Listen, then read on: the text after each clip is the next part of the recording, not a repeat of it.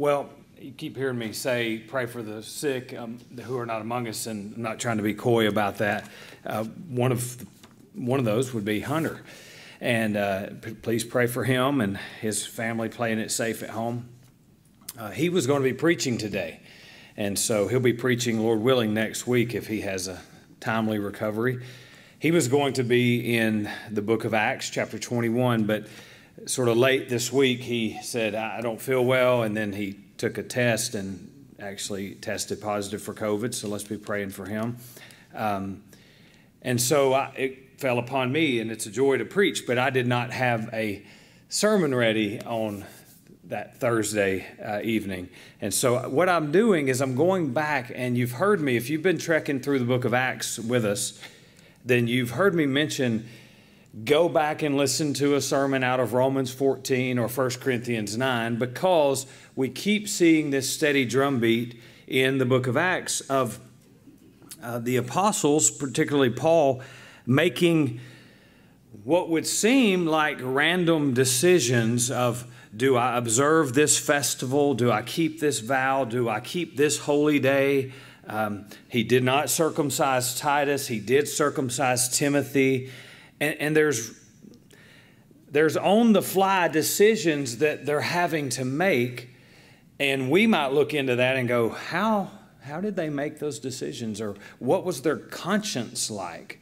And so in romans 14 that'll be our main text today. So if you want to go ahead and turn there um, a couple of years ago we were going through the bible in a year.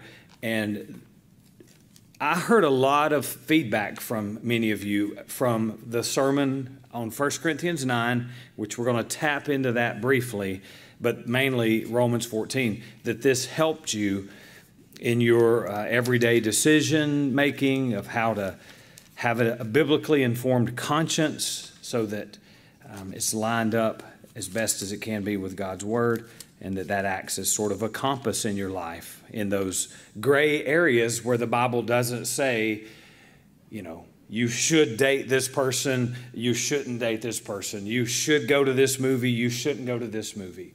Um, you should spend this amount of money on a car, you shouldn't spend this amount of money on a car. And so that's what we're going to do. And again, it does tie back to the book of Acts because in the book of Acts you will see decisions made of, of certain liberties, and we just don't know exactly how or why they were thinking the way they were thinking, but this might help us to see into that. Did you know I read a study recently that says the average human makes about 35,000 decisions a day? Now, I'm obviously that's do I eat chocolate ice cream or strawberry ice cream? And I don't know. Ask John Dillard; he's the ice cream expert.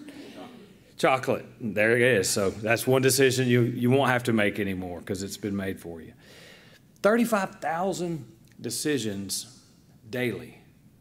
No wonder we sometimes uh, wish that God would, would just write out a blueprint for everything that we should do, but He hasn't done that per se. But he has given us his word, he's given us his spirit, and he's given us a conscience. So, would you stand, Romans 14, and just let God's word wash over you and pray as you read? Pray for yourself, pray for me, and then we'll pray formally at the end. Now, accept the one who is weak in faith, but not for the purpose of passing judgment on his opinions one person has faith that he may eat all things, but he is but he who is weak eats vegetables only. The one who eats is not to regard with contempt the one who does not eat, and the one who does not eat is not to judge the one who eats, for God has accepted him. Who are you to judge the servant of another? To his own master he stands or falls, and he will stand, for the Lord is able to make him stand. One person regards one day above another, another regards every day alike. Each person must be fully convinced in his own mind. He who observes the day observes it to the Lord, and he who eats does it for the Lord, for he gives thanks to God.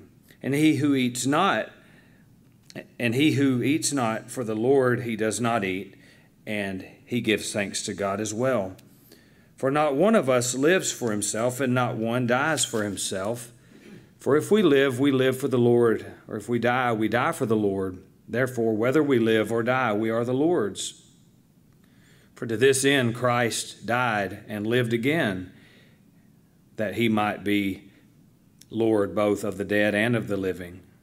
But you, why do you judge your brother? Or you, again, why do you regard your brother with contempt? For we all will stand before the judgment seat of Christ. For it is written, As I live, says the Lord, every knee shall bow to me, and every tongue shall give praise to God. So then each one of us will give an account of himself to God. Therefore, let us not judge one another any more, but rather determine this not to put a stumbling block, an obstacle in another brother's way.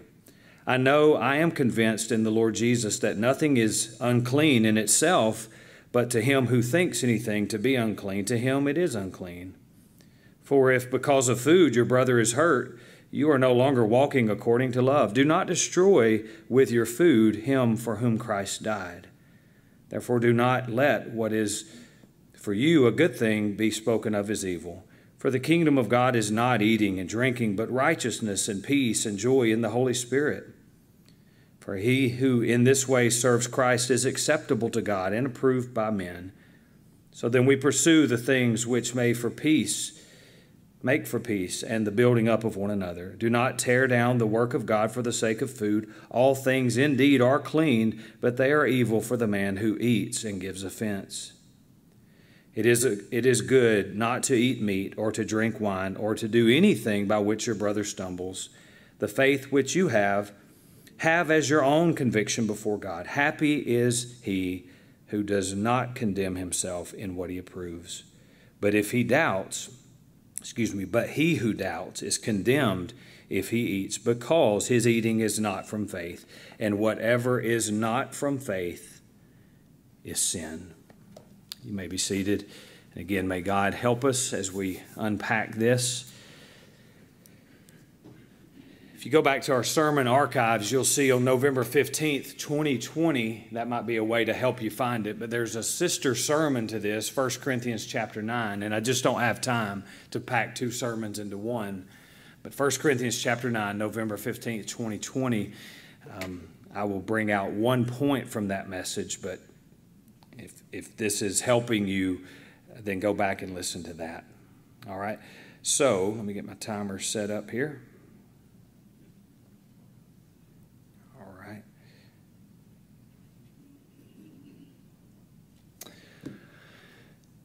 J.I. Packer defines the conscience as God's watchman and spokesman in the soul. Andy Naselli and Ms. Dr. Crowley, they wrote a book on the conscience, very good book, I commend it to you. It says your conscience, uh, your conscience is what you believe to be right and wrong. And this Greek word occurs over 30, or your consciousness, excuse me, is what you believe to be right and wrong uh, occurs over 30 times in the New Testament. Uh, Naselli says, Our conscience is a gift from God. We should obey it unless it is clearly out of line with Scripture. Let me say that again. We should obey it unless it is clearly out of line with Scripture. We should not push it on others. We should exercise grace and love and patience toward those who differ. And we should always be seeking to recalibrate our conscience, to weed out the man made traditions so that it is in line with the scripture. And that, by the way, is going to be a lifelong process. Lifelong process. If you've ever gone to the emergency room, you understand the word triage, right? Because you, you get in to the place and it's packed and uh, you've got you know, a thumb that's bleeding, but you got it bandaged up. And so you're there for a while, and then someone comes and they get pushed to the front of the line, and you at first think, why did he get in front of me? But then you look a little more carefully, and he has a nail sticking through his head, right? He gets ushered to the front because in triage, you have to prioritize things. First level, second level, third level. So it is with our consciences. Let me give you an example. Here's a first level issue. If we disagree here, we miss heaven. The person and work of Christ, the sinlessness of Christ, salvation by grace alone, through faith alone, the resurrection of Christ. These are things that you and I just cannot afford to disagree on. If we do, one of us is going to miss heaven, right? Uh, second level issues. Here we have some room to disagree. We have fellowship here on earth and we'll have fellowship in heaven, but we're going to disagree a little bit. Baptism, the extent of God's sovereignty in salvation, eschatology. When is Jesus coming? Will we be here for the tribulation or not? Those are second level issues. We can disagree here and still be brothers and sisters in Christ. And then there are third level issues. Again, we can disagree and be brothers and sisters in Christ, but these are of even more minimal importance. Let me give you several entertainment, video games, movies, music, sports. How much time to devote to each of these? Can you watch an R rated movie? secular music, modesty. Uh, what is modest enough? Tithing versus grace giving, and how much do we give? Participating in a holiday such as Halloween, taking care of our environment, birth control, hysterectomy, vasectomy, education, homeschool, public school, Christian school, mandatory masks or not and I'm not talking about for Halloween. Do we have the vaccine or not? Do we raise our hands in worship or not? Do we have a choir? Do we have solos? Do we have specials? The list goes on and on, and we may disagree on more than you realized. But on these disagreements, what is clear is they are not salvific, they're not heaven and hell issues. And as a foreshadowing into our sermon, who is the strong brother or sister in these disagreements, and who is the weak brother or sister in these disagreements? See, even that is a matter of interpretation, isn't it? Because you may have your set of preferences and be sitting high on the mountaintop saying, I'm the strong brother that Paul's referring to in Romans 14 and those who disagree with you might be doing the exact same thing. So, in our text here in Romans 14, let's start with the similarities between this, these two groups. Both groups are brothers in Christ. Surely you picked up on that when we read through it. They're believers for whom Christ died. Both, the strong and the weak, the one who could eat meat and the one who said, No, I'm not eating that meat, it might have been sacrificed to idols. See, this isn't just the Atkins diet plan. This is, I don't want to touch that stuff because it might have been contaminated and sacrificed to idols. And the other says, It's just meat. And there's only one God. It's free to, I'm free to eat that meat. Pass the, pass the pork. So they're both brothers in Christ both brothers for whom Christ died. And did you notice they're both doing what they're doing or not doing what they're not doing for the glory of God with thanksgiving? One says, I'm going to eat that meat for the glory of God. I'm going to give him thanks for this meat. The other one says, I'm not going to eat that meat. I'm going to eat the vegetables. And in not eating that meat, I believe I'm glorifying God. Now, uh, let's look at their differences, although I just sort of alluded to those as well. The differences are Paul says one of these is a strong brother, one is a weak brother. Notice they're both brothers.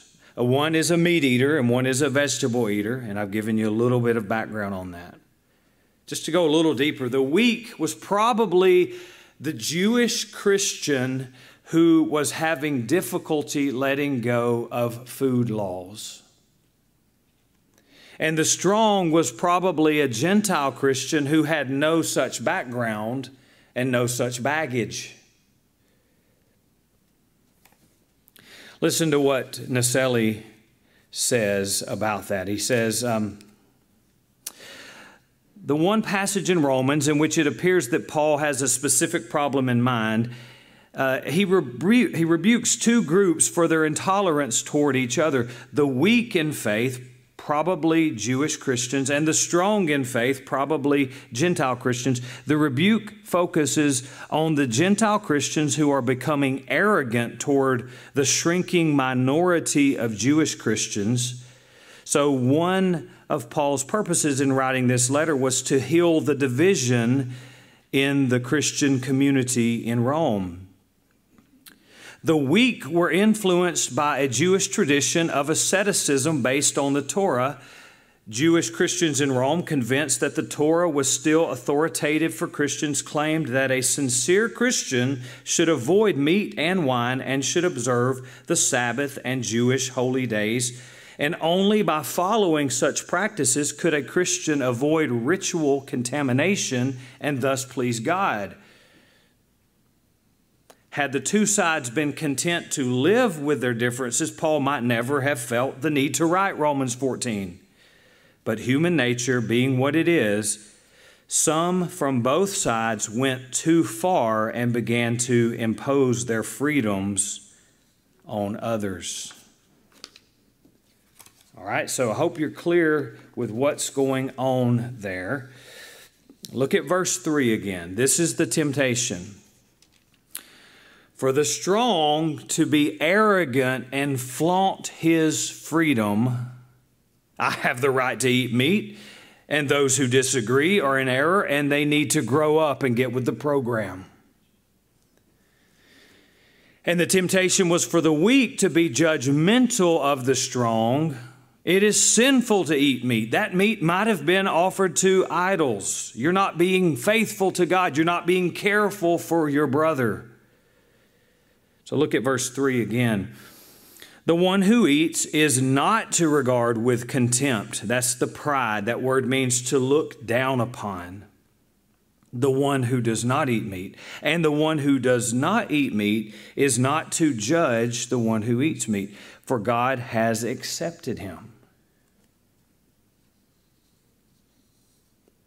Now, this could take more time than I'm wanting to give to it, but so far, both sides Christians, preferences, I'm free to eat, I'm not free to eat. But you, you notice sin is beginning to creep in at this point. At that point, there's no sin. But the sin is now becoming being prideful and arrogant and being judgmental. And another sin that was creeping at the door was taking these liberties too far into a heretical position. Let me just briefly share with you this.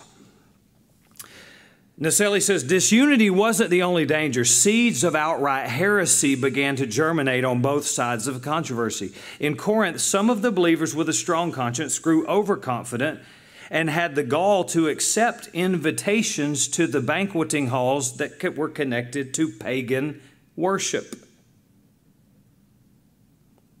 All right.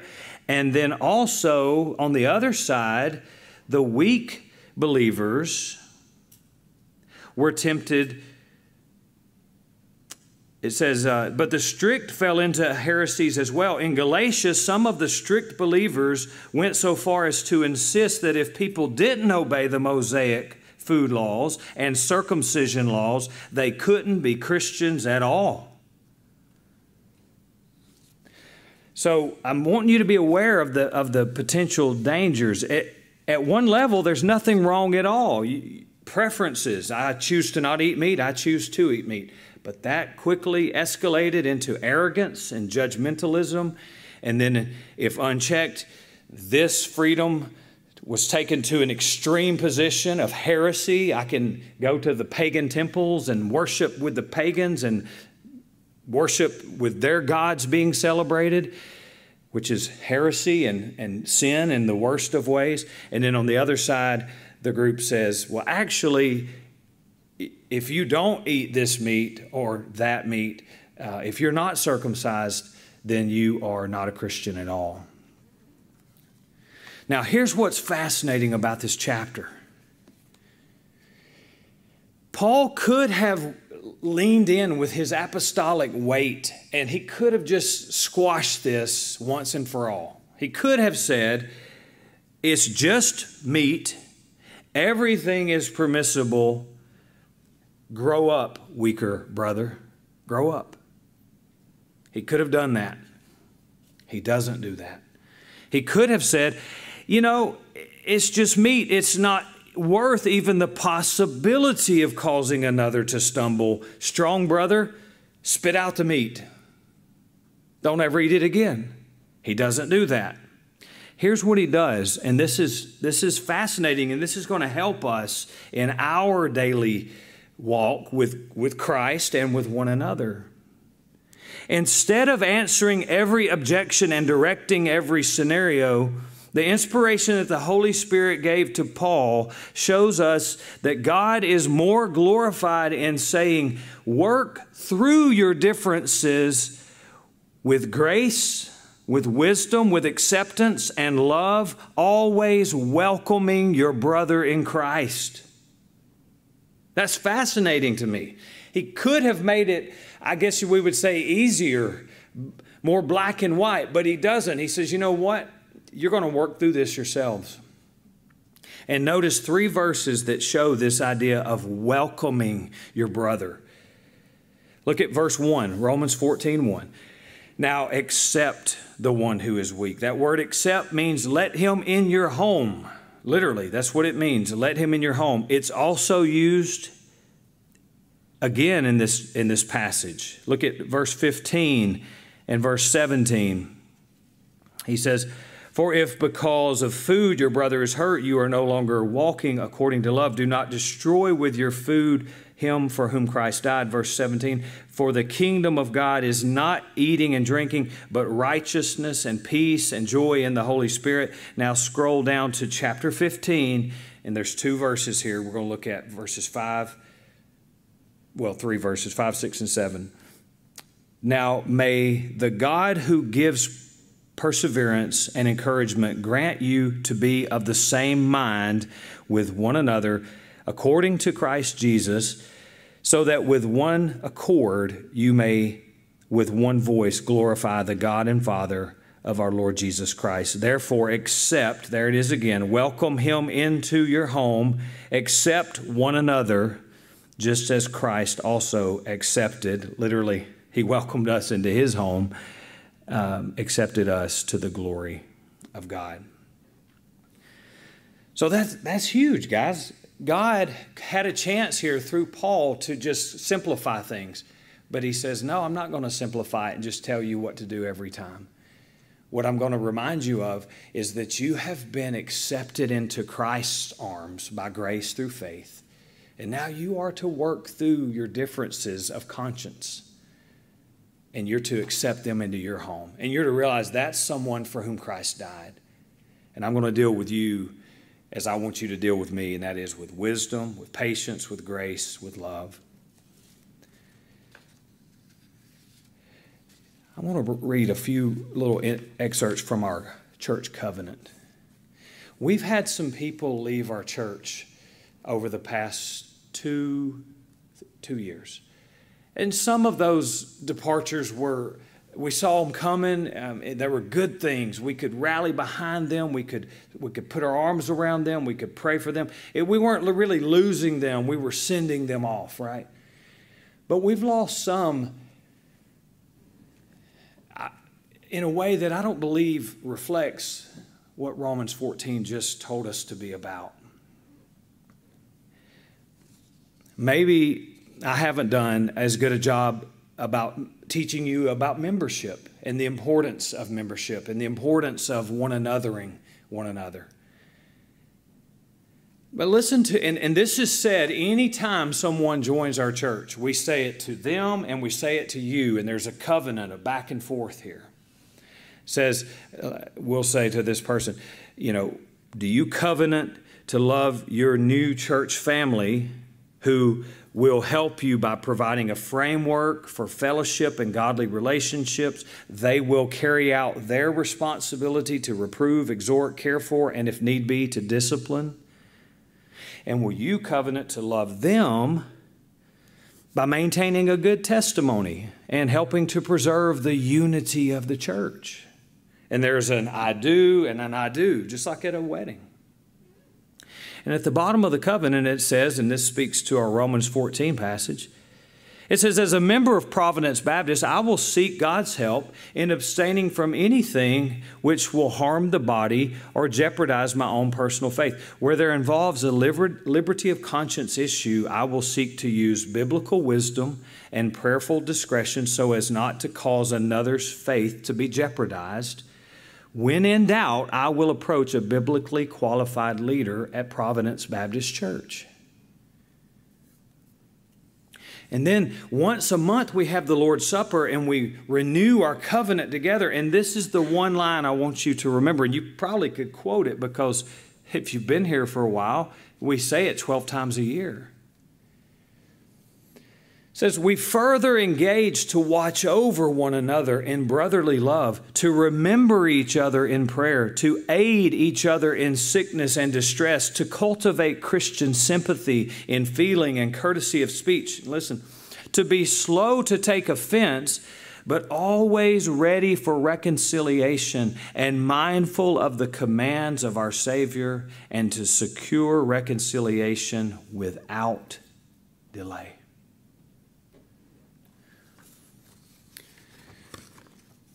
I know that you and I do not agree on everything. If you think we do, then you don't know me that well. And if I think we do, then I don't know you that well. Again, there are some issues that we just can't afford to disagree on. They're gospel issues, they're heaven and hell issues. There's level two that's very important, but we would call those minor doctrines. We have some freedom to disagree on that and still get to heaven and fellowship for all of eternity. And then there's those third tertiary issues where we're going to disagree a lot. And I don't need to impose my conscience on you or vice versa. We need to be patient with each other. But in all of those ways, and in what we just read for our, through our covenant, we're to be welcoming one another into our homes, literally. We're to be reminded that Christ died for us that we belong to Him. Now, back to our text.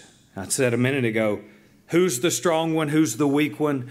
Well, in this one, it, he, he does differentiate, right? The one who was free to eat the meat, realizing it's just meat, there's just one God, it's not that idol. You can have the sandwich, the pork sandwich. He's the stronger one. The other one who says, Oh, I, I don't know that I want that. I'd rather eat a salad. He's the weaker one. No one likes to be called weak, but let's remember this brother's salvation is not in question. His weakness shows up when he holds on to something that the Bible does not command him to hold on to. Let me say that again. His weakness shows up when he holds on to something that the Bible does not command him to hold. We all have weaknesses on some level. That's, the, that's a fact. We all do.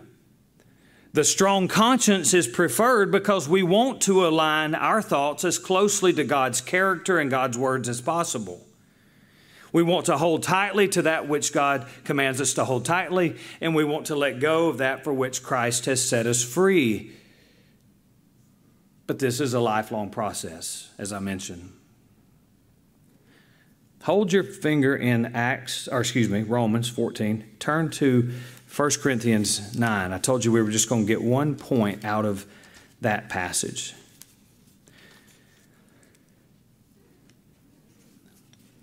1 Corinthians 9, and would you look at verses 22 and 23? You'll notice Paul's using this same language weak, strong. He's talking about the same idea that he's just referred to. To the weak, I became weak that I might win the weak. I have become all things to all men so that I may by all means save some. I do all things for the sake of the gospel so that I may become a fellow partaker of it. See, here's where Paul sort of ups the ante. Up to this point, he's just thinking in terms of you yourself. Like, do you have a conscience that's clear to eat meat or not? He, he vaguely mentions it of don't cause others to stumble, but he doesn't dive headlong into that. But now he's saying, listen, this idea of recalibrating your conscience it's not just about you. I don't want you to think in terms of what is permissible for me. What am I free to do? That's how you might have thought as an immature Christian. But as you begin to grow in Christ, I want you to have this mindset that what can I do to reach all people with the gospel of Jesus Christ? In other words, you need to come to a mindset where you think that though I'm free to do this, absolutely free in Christ, I have a strong conscience to do that. What will most advance the gospel of Christ, the kingdom of God? What will save the most? What will win the most? Naselli calls it a sanctified flexibility. And this comes from spending time in the Word of God, in prayer, alongside mature believers who are dying to their rights for the sake of the gospel of Christ. And it sort of becomes contagious.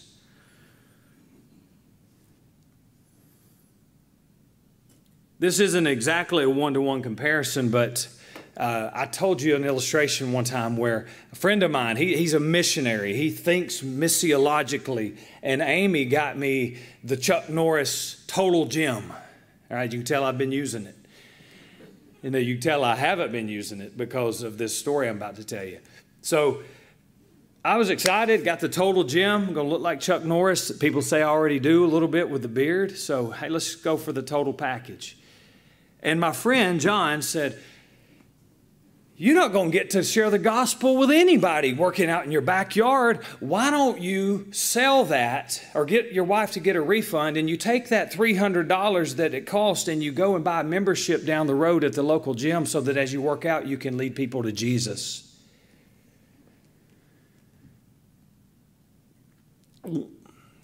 I, I wasn't thinking like that.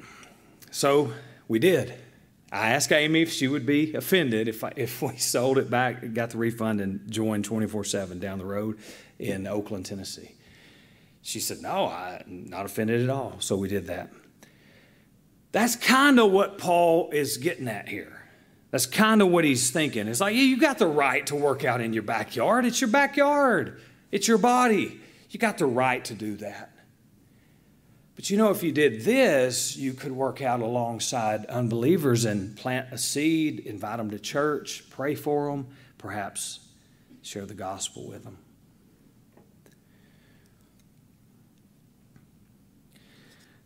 I don't have time to get into all of the ways that Paul did that and showed us that. Let me just give you one illustration that, that could help you. Naselli again says this. He says, At some point in Paul's life, he must have prayed something like this God, it's time for you to weed the garden of my conscience. It's time for me to bring my conscience under your lordship. I'm no longer the Lord of my conscience. God, show me the laws that are missing from my conscience and the man made weeds that I need to uproot. So, one by one, he started making decisions about what stayed and what went. The prohibition against eating pork, Jesus said in Mark 7 that such a prohibition was no longer a matter of right and wrong, it was just a matter of preferences. Do you think this was easy for Paul to make the switch? I bet it wasn't, but Paul still obeyed. Special holy days, out they go. Whether I observe holy days or not is no longer a conscience issue, but a matter of wisdom and love and of gospel witness. He says, Eat pork if it advances the gospel. Stop eating pork if it advances the gospel. Celebrate a Jewish holy day? Sure, when I'm in Jerusalem. Abstain from wine or meat sacrificed to idols? No problem. If partaking might embolden my brother with a weak conscience in those areas to sin, Paul became someone who could glide from culture to culture, making nearly seamless transitions without att- attracting attention to himself, because it was not about him. It was about Christ and the gospel and the eternal souls of men and women.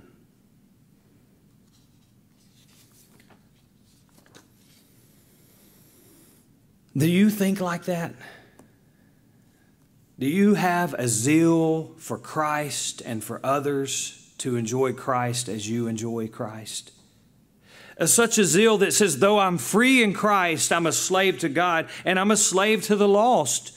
I can restructure my life and the freedoms around my life so that they revolve around Christ, not me.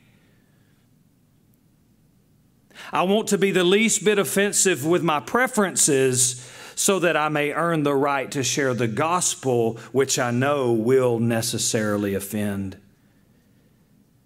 I want to be so wise and loving as to which hills I die on. In fact, I want to die on the same hill that Christ died on. I want to die on a gospel issue, not preference issues. And I will dig my heels in on the gospel and not back up or shut up. But on these preference issues, I'll die to myself there. And that's what Romans 15 says. Go back to 15, 5 and 6. It says, Now may the God who gives perseverance and encouragement grant you to be of the same mind with one accord to Christ Jesus. So that with one accord, he uses that phrase twice our one accord at Providence Baptist. What is our one accord? I've been a part of some churches before that were known as the homeschool churches.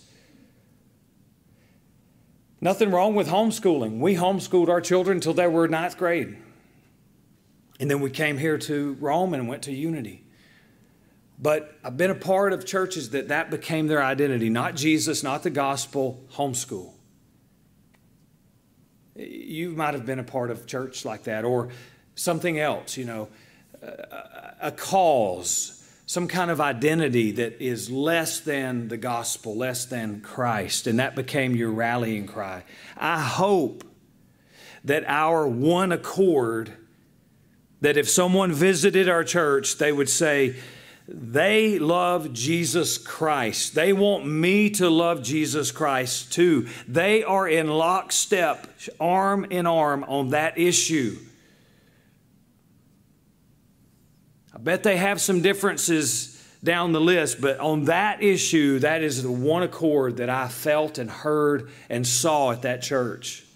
They love Jesus Christ, they love me and want me to love Jesus. They will not back up on the gospel that says that sinful men can be made right with holy God because of Jesus' sinless life, sacrificial death, and victorious resurrection.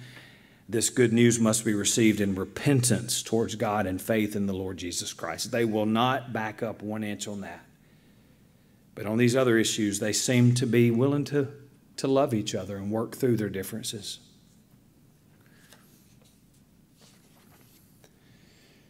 So, how are you doing in, in this area of conscience? I mean, on a very beginning level, it, it's wrong for you to just constantly go against your conscience. You know something's right, or at least your conscience is telling you that it's wrong, excuse me, and but you're doing it anyway. That let that be a starting point of what you need to hear from this message. It is wrong to disobey your conscience. unless your conscience is so out of kilter with God's word that what you think is wrong is what God says is right. And now you need to recalibrate and get your conscience lined up with God's word. So here's a few takeaway points before we say amen.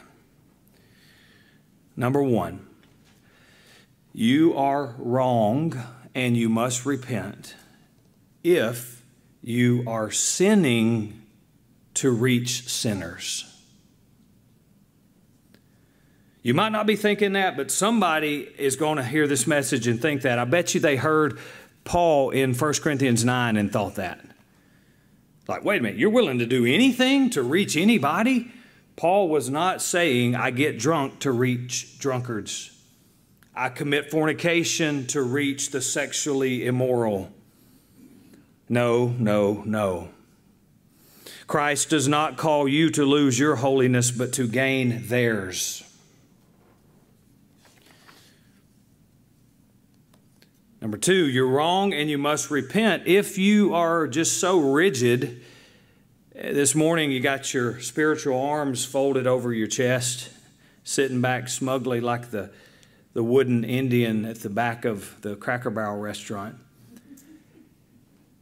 and you're so rigid and, and unwilling to even pray to be flexible so that you can die to yourself in some preferential areas so that you might win your neighbor to Christ. If you're sitting there smugly saying, I'm not giving up any of my rights, that's their problem. Then that would, Romans 14 was written for you. Paul says in 1 Corinthians, I have become all things to all people so that I might win some. That indicates that there was a point in time, a decision he made, an intentional strategy to win souls for Christ.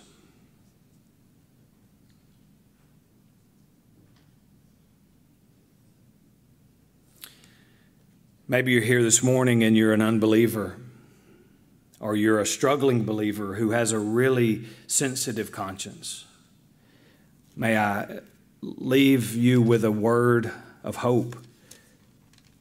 Hebrews 10 19 through 23 says that only the precious blood of Jesus Christ can cleanse your guilty conscience.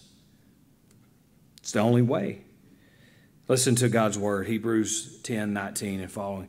Therefore, brethren, since we have confidence to enter the holy place by the blood of Jesus, by a new and living way which he inaugurated for us through the veil that is his flesh. And since we have a great priest over the house of God, let us draw near with a sincere heart in full assurance of faith, having our hearts sprinkled clean from an evil conscience and our bodies washed with pure water.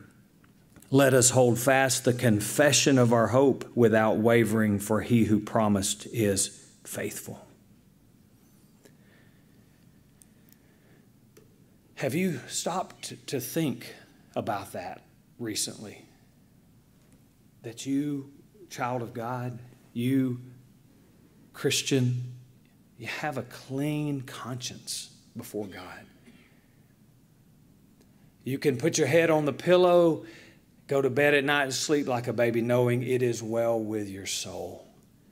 Your sins are forgiven. They're cast as far as the east is from the west. They're thrown into the sea of forgetfulness. They're under the precious blood of Jesus Christ.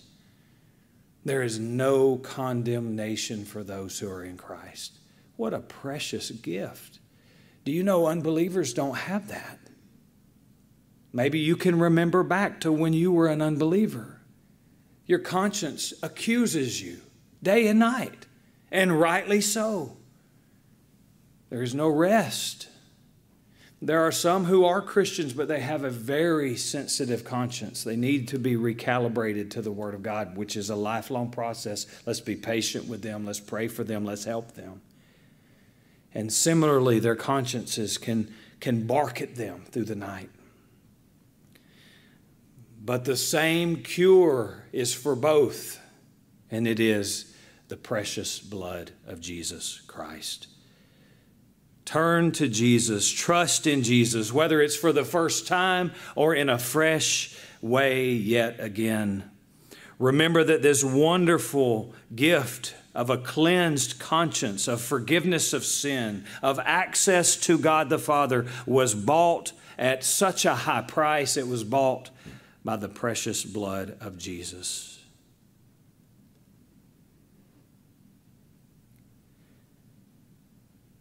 And back for us for one more moment of giving up things to reach unbelievers. Let, let me say it like this When Christ and others worshiping Christ with you are your rewards for sacrificing a few preferences in this life, you will say, as David Livingstone, missionary to Africa, said when they said to him at the end of his life, What a sacrifice you made. And he looked at them and said, It was no sacrifice. It was no sacrifice. I was obeying Christ. I got to lead people to Christ. What you call a sacrifice paled in comparison to what I gained in knowing Christ better and better and finding new brothers and sisters in Christ through the gospel. And that's what you'll say. That's what you'll say. If you sell your Chuck Norris Total Gym and join 24 7 or, or Planet Fitness, and you get to lead somebody to Christ or invite them to church or just find another brother in Christ that you had never known or a sister in Christ, you will not see that as a sacrifice. You will say, What a privilege! What a privilege that is. Well, as I said, there's more meat on that bone, but I just don't have time to keep peeling it off. Go back and listen to the sermon in 1 Corinthians 9.